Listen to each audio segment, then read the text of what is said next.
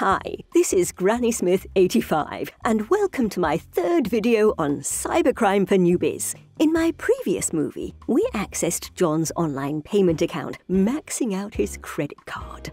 In this video, we're going after big money. We're going after John's employer, the university.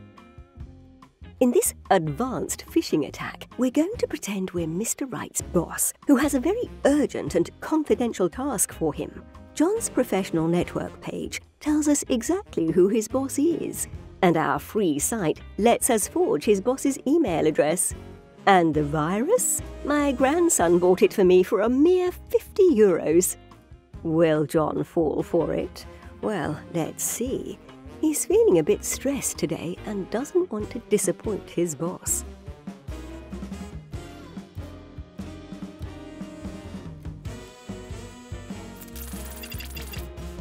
Once John's opened the attachment, his computer is completely locked.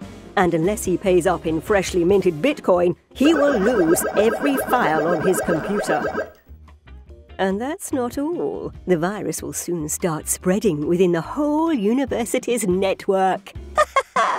People are taught to think before they click. But if you use the right tricks at the right moment, well, they forget all about that.